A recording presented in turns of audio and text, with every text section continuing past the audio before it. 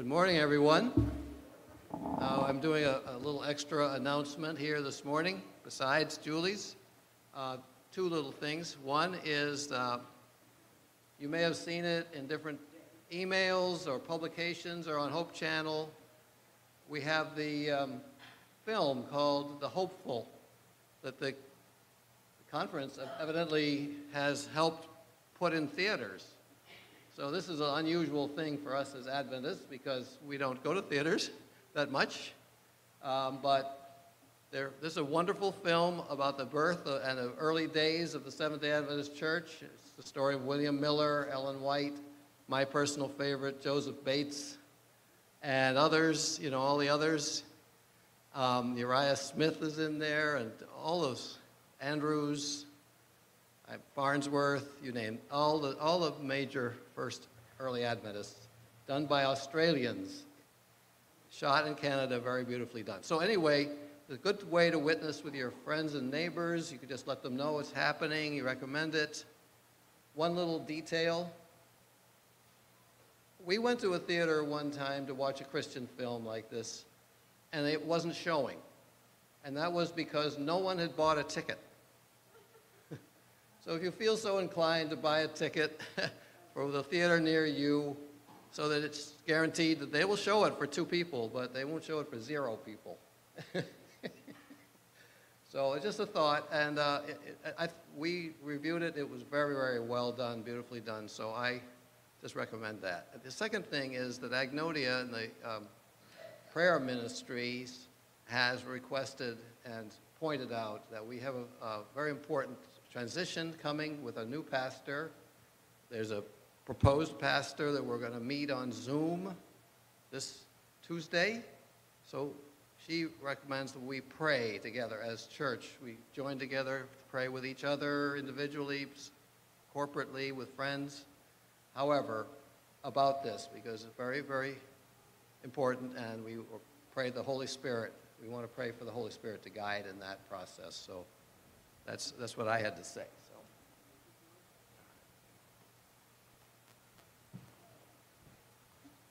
Good morning and happy Sabbath.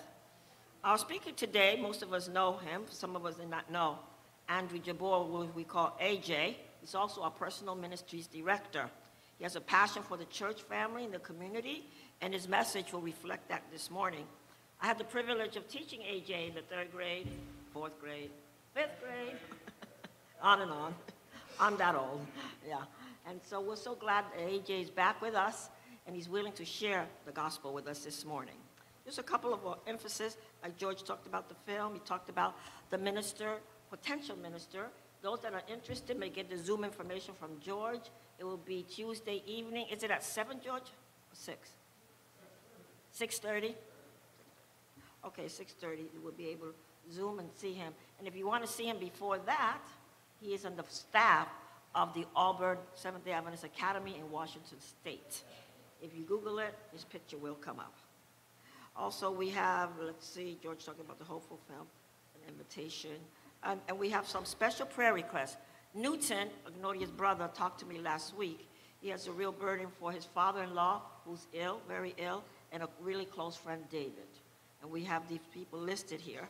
And Esther Mulligan has requested prayer as well. Welcome, Esther. Good to see you this morning. So let us get prepared for our second service as the Lord will lead us.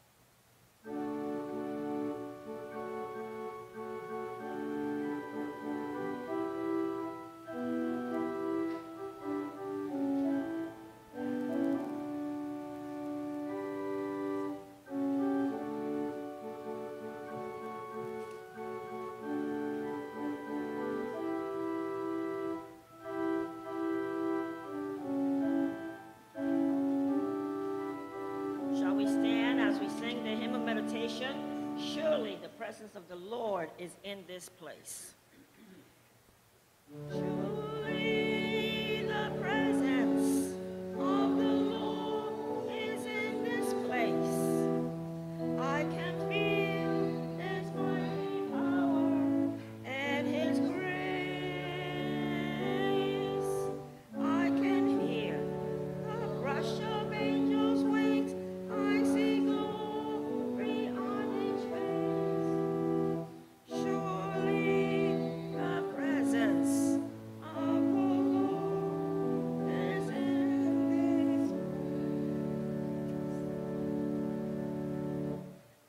hymn number 86, How Great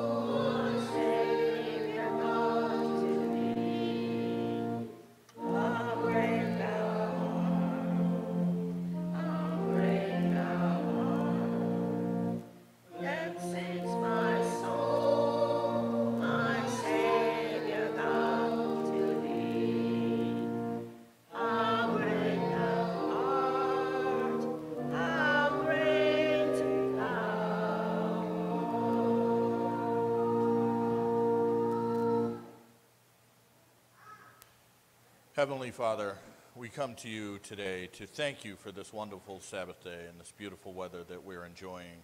We ask that you put your hand of mercy, your hand of healing, and your hand of blessing upon us today. In your name we pray. Amen.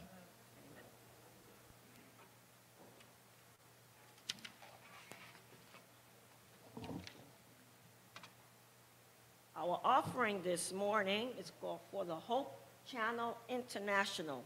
Those that don't know what that is, that's a Seventh-day Adventist program channel. And in the past year alone, over 300,000 people have started the, the course in Bible studies, it tells us. It tells us that this program brings a blessing and it enriches the lives of all those that watch it and all those that support it. So after celebrating 20 years of the Hope Channel and reaching over 80 countries with the Adventist message, let's make 2024 the most impactful year in sharing the hope with Jesus in this country and abroad. So your offering will definitely make a difference for the Hope Channel International.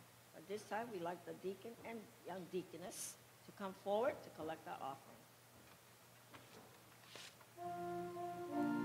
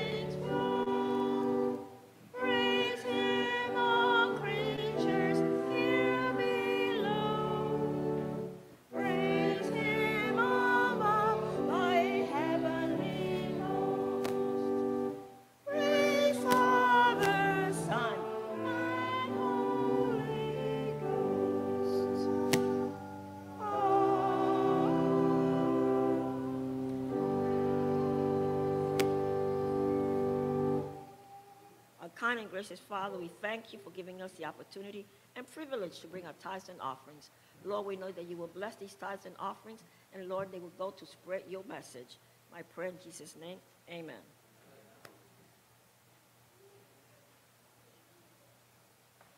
And now I see some children. So it's time for our children's offering. Come and get the basket from Mr. K. And remember, we want a lot of bills.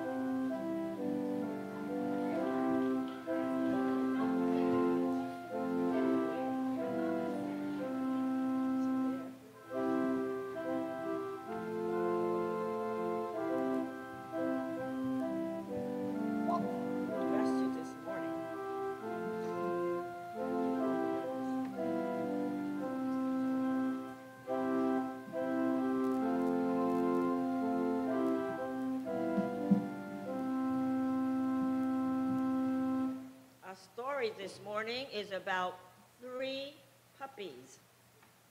And believe it or not, it's about a boy who we're going to call Tommy, because this is a true story.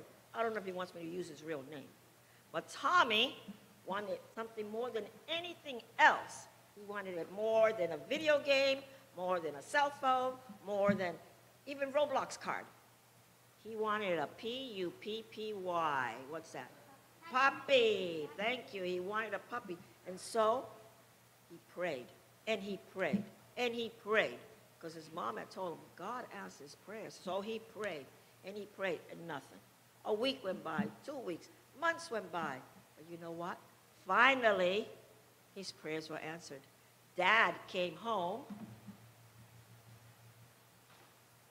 with a brown puppy. Yes. And he, guess what he called him? He called him Brownie. He loved Brownie. And he played with Brownie. And he fed Brownie. And he walked Brownie. But then his dad went and got another job in the city. And when they moved, guess what? He couldn't take Brownie with him. So he gave it to the neighbor. Really, really sad. He was in the apartment for a long time and he prayed. And he prayed. The dad says, says right there, no pets. That means no dogs, no cats, nothing. But he still prayed and he prayed. And guess what? Dad lost his job. Yes, he did. So they had to move out of the city, back into the country. And he was so happy, not that dad lost his job, but that he could get a puppy. And he prayed and he prayed again. And then one day, a black and white puppy just came into his backyard. And he says, Oh, an answer to prayer. I had one, I lost one, now I have another one. I think I'm going to call him Black Beauty because he had these beautiful black marks all over, you know? And he was so happy with that Black Beauty. And he walked the dog and he fed the dog. But guess what? One day, Black Beauty ran away. Never came back. He was, oh no, he just ran away. Yes. Thank you. Ran away. He goes, oh no, what now? But you know, Tommy did not give up. He kept praying and praying, and everybody had heard about Tommy in that new neighborhood, how he had one puppy and he lost it, and he had another one, and it ran away. And there was a lady a few blocks down the road that used to not only sell puppies, but she used to raise puppies. Mr. and Mrs. K used to raise puppies. We had over 20 Dachshunds. We know what it is to have puppies and then raise them and give them away or sell them. Anyway, this lady heard about Tommy and she said, you know what? I think I'm going to give him a puppy. Tommy didn't know this. He just kept praying and praying. And guess what? She came with the most beautiful golden puppy, and he loved that puppy. And she said, This is my gift to you. And he just looked at her and said, No, that's an answer to prayer. And so this morning I'll ask Julie to play our song for us, Whisper a Prayer. In our school, we pray three times a day like Daniel in the morning, at noon, and when we leave, because God answers prayers. Whisper a prayer.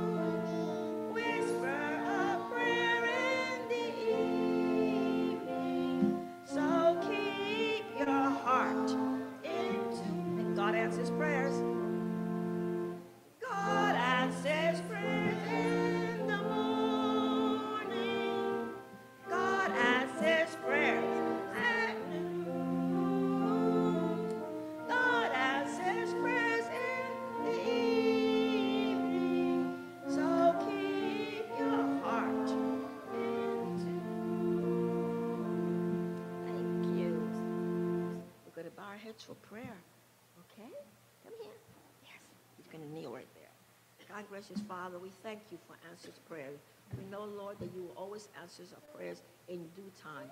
We ask, Lord, that you will bless us as we continue to seek you. My prayer in Jesus' name, amen. One, two. Thank you.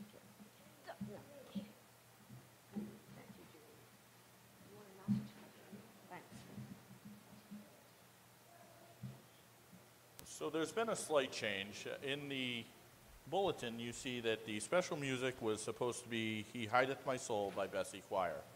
Uh, the soul, uh, the song will actually be uh, "God on the Mountain" by Lynda Randle.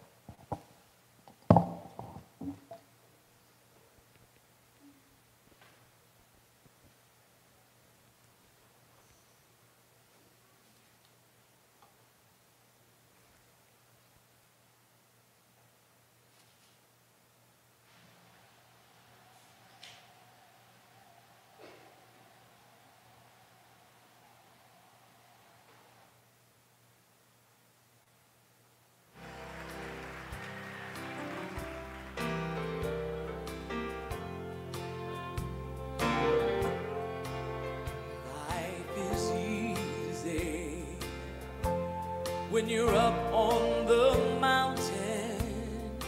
And you've got peace of mind like you never known. But things change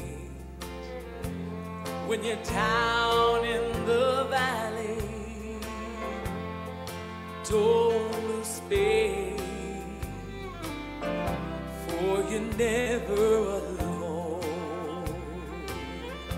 For the God on the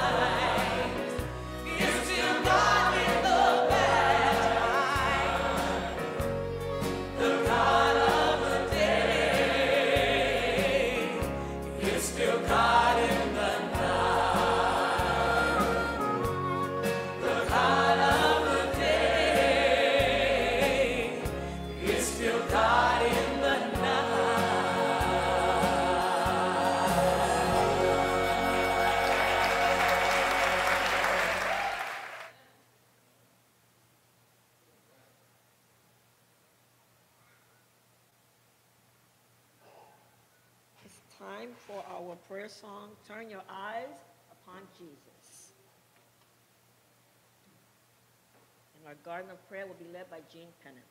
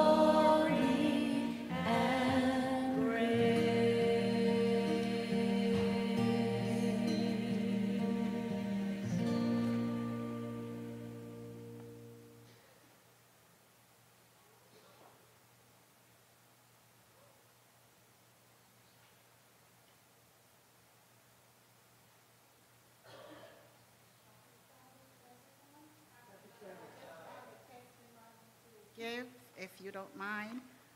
Coming from a long way that God lead me one day as a young kid. And while I, while I was living in Jamaica and I walk in the tent and I get baptized. I know about Seventh-day Adventists because of my friend Hazel's sister, Cynthia, and I'm telling you, God is good. And all the time, God is good. And I have to just give that testimony that it's a long road, it's a long struggle. And I'm older now, and as I look back, I said, God, I have to give this testimony because it's you that bring me through these hard road, this rocky mountain. Sometimes I watch, one time I watched my son almost die, and God never give up. So I just want you to know that whatever you're going through today, don't give up on God. Don't give up. I just have to tell that testimony. It's in burning in my heart to let you know that God is good. I watch a lot of my friends die. My sister died when she's young. And for some reason, God is keeping me here. I don't know why. Sometimes I want to give up, but I keep on. And I just thank God for this moment that I'm just going to pray. And I just thank God that I could give you my testimony.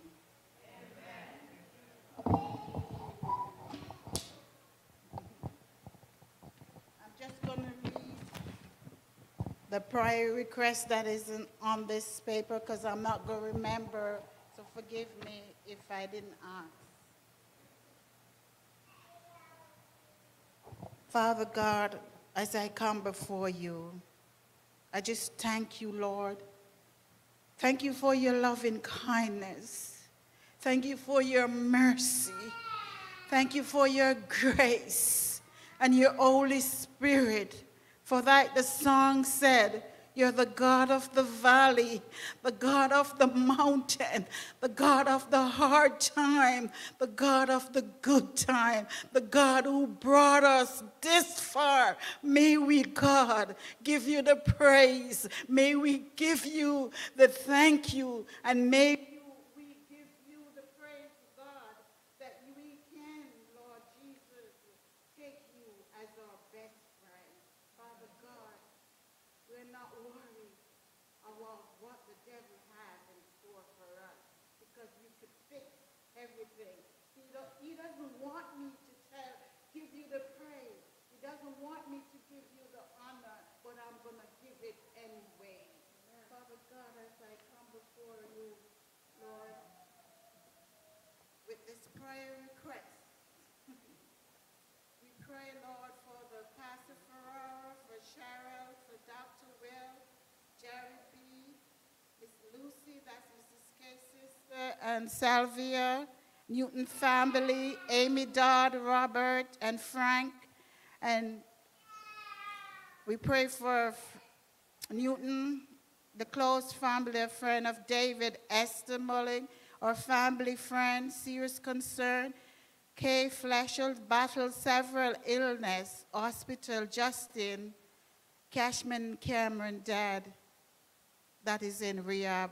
And please, Lord, remember our young people at this moment, Lord Jesus. Please remember Ben, Jerry, Marvin, Gabriel, Reed, Tyler, Seth, Destin, Stacy, Megan. Lord, forgive me if I didn't call all the name. And Kelly's boy. Remember also Mrs. K's son, Lord. Remember our young children, Lord. Please, God, I beg you, bring them back before it's too late. Father, I just want to thank you. Thank you for your mercy. Thank you for your love. And I praise you and I magnify you. Even if the devil don't want me, I'm going to praise you, Lord. With every breath that I take, Lord Jesus, I give you the praise. Because this it, it may be my last. I don't know what God have in store. But whatever God is have in store for me, I'll take him as my best friend. He has bring me this far, and I'm on my way to glory. In Jesus' name, amen.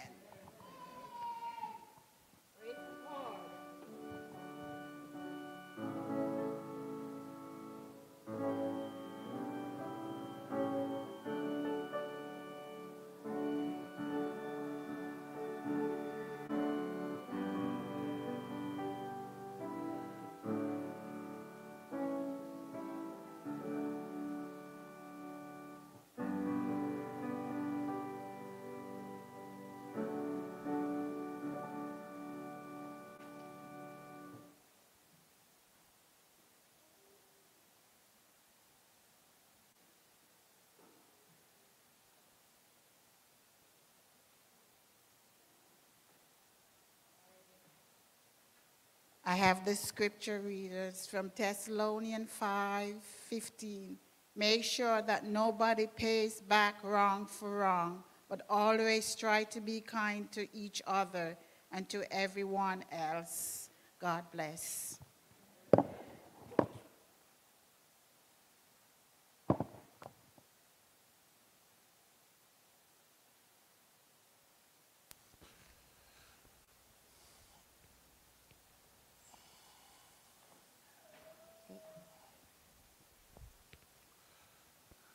Good morning and happy Sabbath.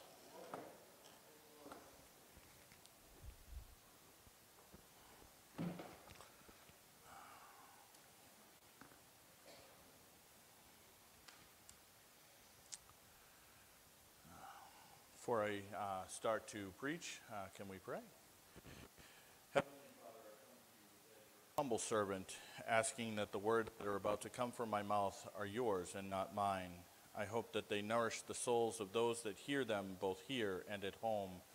In your name I pray. Amen. All right, so bear with me on this. Uh, I really just put this sermon together yesterday. Um, a last minute notice that I was preaching this week. Um, I hope it makes as much sense to you as it did to me, and it has in conversations. Um, it's funny that I walked into church today and the message I hear during Sabbath school is almost, I, ironically, exactly what my sermon is. Um, this was certainly a test, uh, and I'm glad to be standing here in front of everyone, both here and at home on YouTube, uh, across uh, Comcast and other different a- aspects of getting the word out. So, Because it was last minute notice, I couldn't get a title for today's sermon, but the topic is one that's been um, a debate for me to put out for a while. Um, Julie put one out um, be kind, be, be kind to one another, um, which goes with the scripture reading for sure.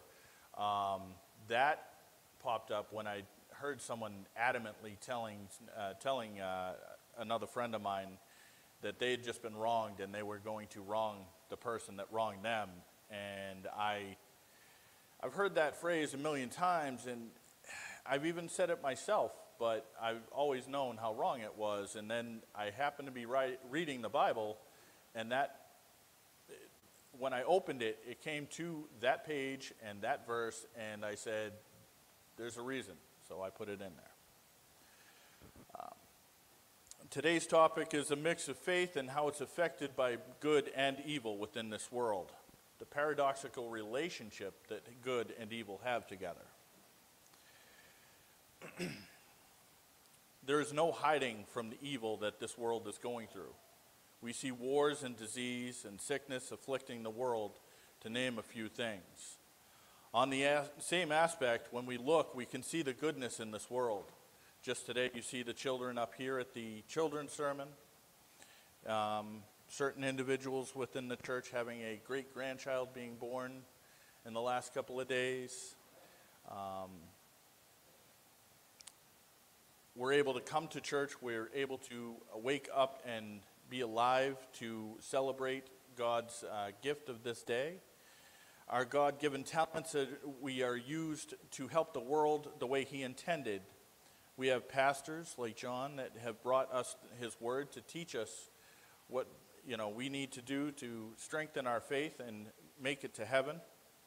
Doctors who have learned how to treat us and heal some of those sicknesses that I mentioned um, that are on the evil side. On that note, um, Sandra's great granddaughter, granddaughter, great granddaughter, uh, is in the ICU and could use some prayers. Um, her mother is a diabetic, and due to that, um, her pancreas hasn't learned how to work on the outside without insulin. So they're working on getting that in. And I found out that my niece in Indiana, um, she's 10 years old, was in the hospital the other day, well, for quite a while, with tuberculosis. Um, she went to school, someone had it, and now it's an epidemic in the school, and she's got a long road ahead of her. Um, hopefully, she makes it. I mean, the, the prognosis is good, but there's a lot of things that have to happen. And I was speaking to her mom, and I was like, need to cut back on that smoking, because that can't be around, she can't be around it. Uh, but it's a tough, so keep them in your prayers, please. Sometimes it's the small things that we look at that are the good things, such as seeing a bird sing or a rainbow in the sky. Like I've said in previous sermons, the negative things can outweigh the positive. Does anybody give me an example of something good to counteract the evil in this world? Anybody? Yes.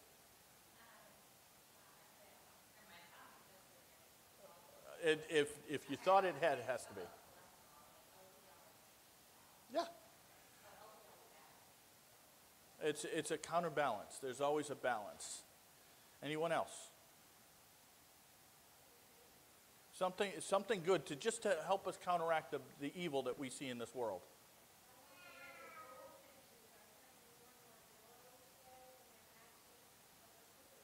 Yes, it's great. It's so, it's, so the thing is, is when we have such evil in this world and the negative that outweighs us, it takes the positive thoughts of the little things to be able to help raise us and help, you know, strengthen those, our mindset. And with our mindset being stronger, then we can work on our faith.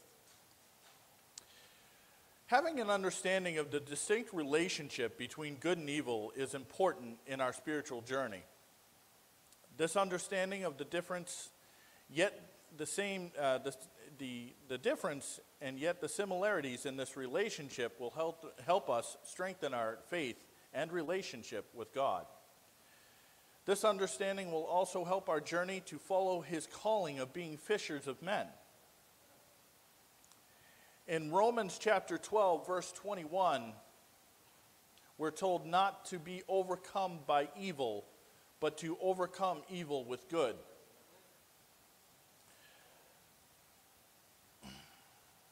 The, today's scripture, it said, uh, if I can get to it. Um, do not over. No, that's that one. Of course, I lost it. Okay, hold on. Bear with me.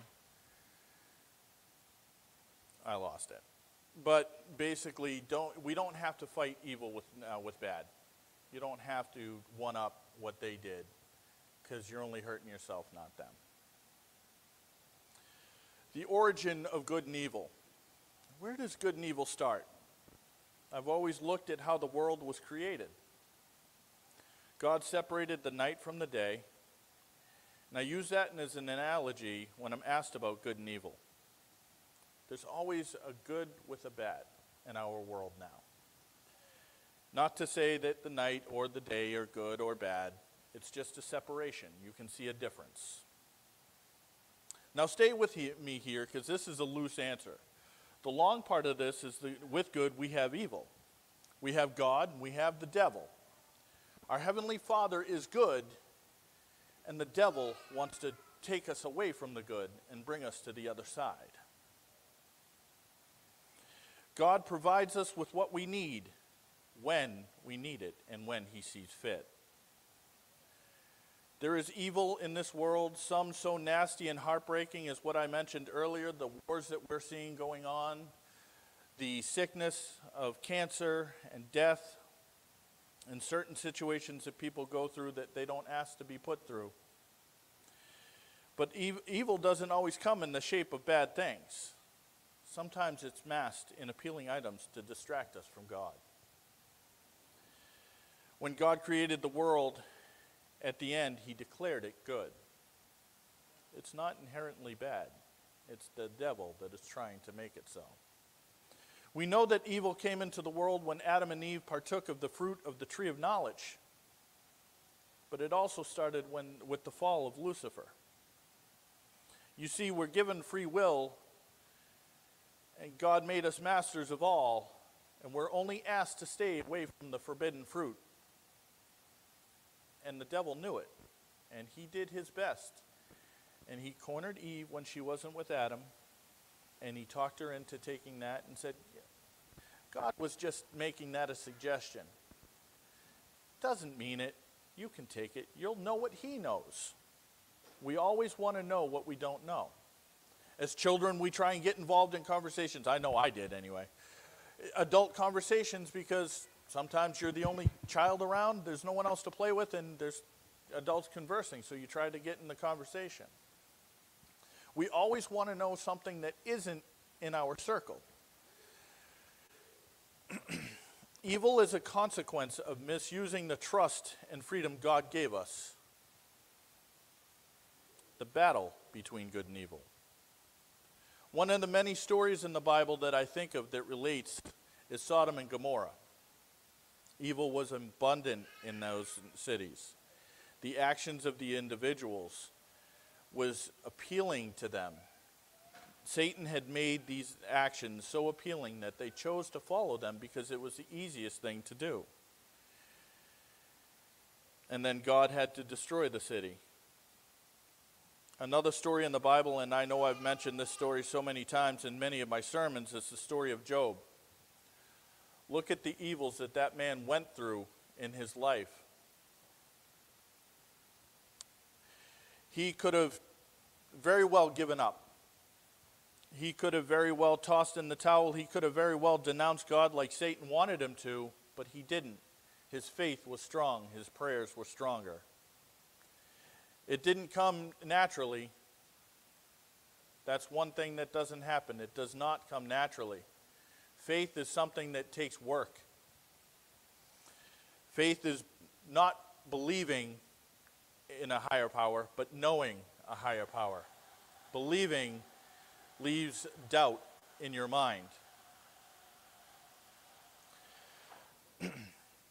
He was put through so many tests as a faithful servant to God that I know I would break, yet he didn't. I would have fallen to the easy path of hu- the human condition of questioning, Why me, Lord? Why?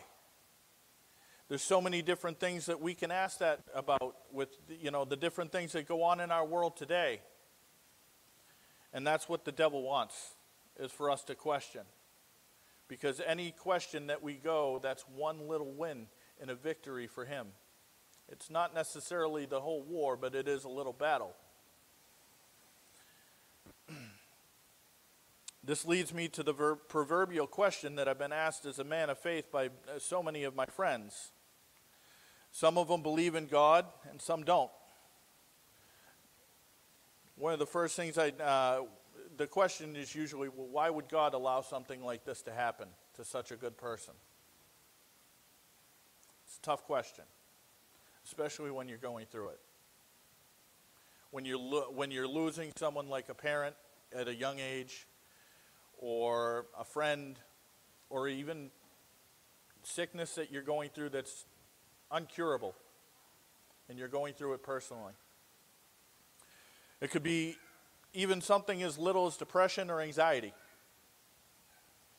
When everything feels like the walls are closing in, the question would be, why am I going through this? Or why are you allowing this? You can change this.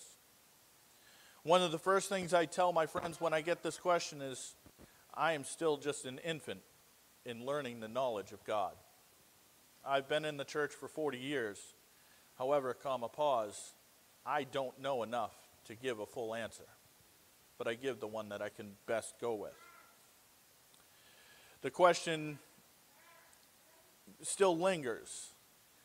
And this being whatever situation they're going through at the moment, some are very more, so, some are much more adamant in trying to prove me wrong and instead of listening, but I, I try, I let them get it out. Some of these conversations can go on for hours, and I won't go too far into them, but the long and short of it is with good in this world, there will be evil. Yes, God can change it, but He can't stop everything from happening because it's the consequences of sin. It's the consequences of decisions made by us and others that have put this world in the condition that it's in. This, I had a friend say, well, if he can change it, if he destroyed the earth once, why couldn't he do it again? I said, well, he made the promise. He said, but if he did it again, no one would know. He could do it so no one would know and start fresh. And I said, but this is what builds faith. This is what proves that he's not a dictator, that he allows you to make the decisions and follow the path as you see fit.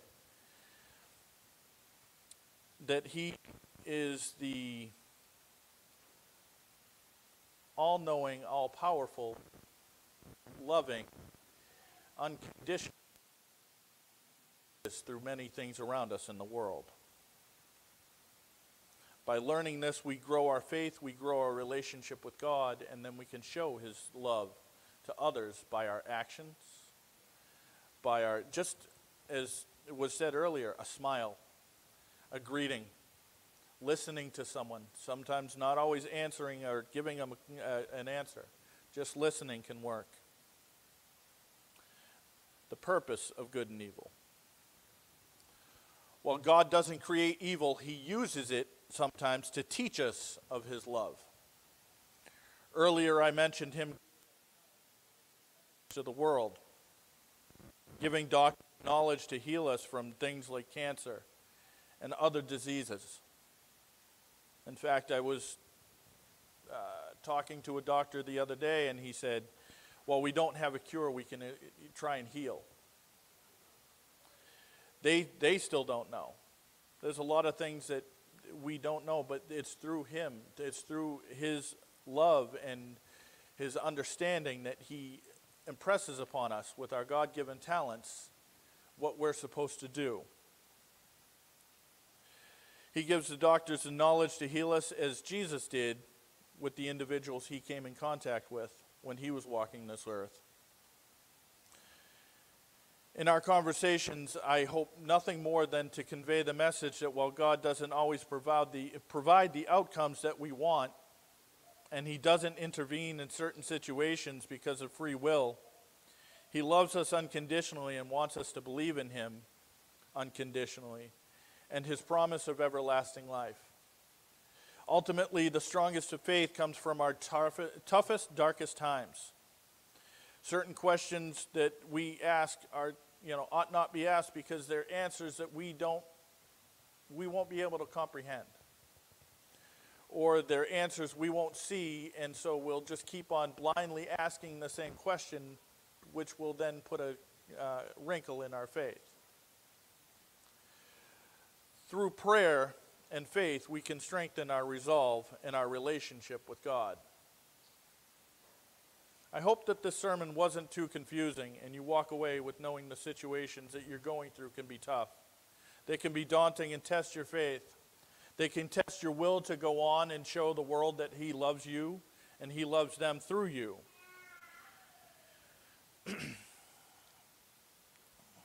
but it's nothing more than the devil trying to break you as he tried to break Job. The devil and evil are being so desensitized in today's society that it's almost as if people see certain programs, uh, like one of them, uh, for example, my son um, mentioned he really likes the show Lucifer. And I had never heard of it, and I looked into it, and it was literally the show is just trying to show that the devil isn't that bad of a guy. He's just misunderstood. And I, my first reaction was to admonish him and yell at him, but I stopped myself and I said, Gavin, that's, that's not how it is. And we had a, a long conversation, and I said, Hollywood just takes certain things like this. Um, and there's another show that I saw a commercial for the other day. It's Evil or something like that. Um, it, it's desensitizing the different evil things that the Bible has condemned so that it is easier for the world to pull it in and use it. It's turning into Sodom and Gomorrah. It is imperative that we strengthen our faith and relationship with our Heavenly Father through, faith, through different fellowships here at the church, through praying by yourself and praying with others, by asking people for answers at church and you know around your family, and sharing the message through studying and prayer. Happy Sabbath.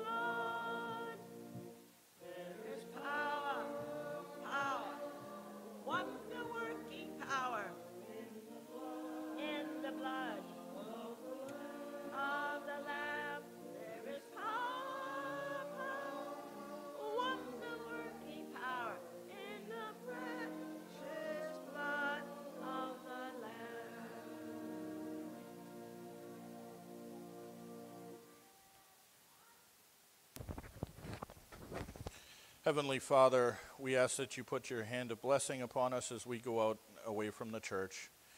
I ask that the love that you show us, the love that you give us intentionally and fruitfully, we give to others. In your name, I pray. Amen.